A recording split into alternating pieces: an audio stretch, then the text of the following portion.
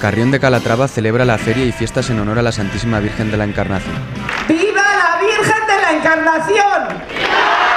Un día en el que no faltó de nada, desde los tradicionales toros de fuego hasta el nombramiento de los zagales y zagalas de este año, así como el del pregonero 2024. Aunque las condiciones meteorológicas no fueron las más adecuadas, solo se suspendió el desfile de cabezudos y las fiestas pudieron desarrollarse con total normalidad. Es lo mejor que tenemos en el pueblo. que estas fiestas, no sé, tienen algo especial que me gustan un montón las migas, la banda, que me encanta la carpa.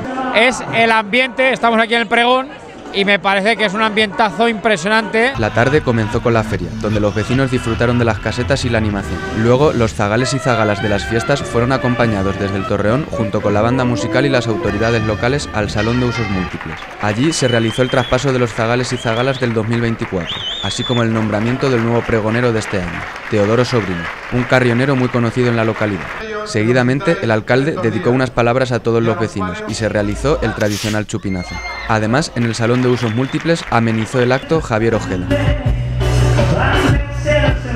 Que disfruten, que todos sabemos lo que nos gusta estas fiestas que son en honor a, nuestra Virgen que nos visita mucha, mucha gente, que sigan visitándonos, que a pesar de la lluvia, que se diviertan, que hacemos todo tipo de, eventos para niños, para mayores. Para finalizar, se llevaron a cabo los tradicionales toros de fuego en la plaza del ayuntamiento, donde ningún vecino se quiso perder la salida de los ocho toros.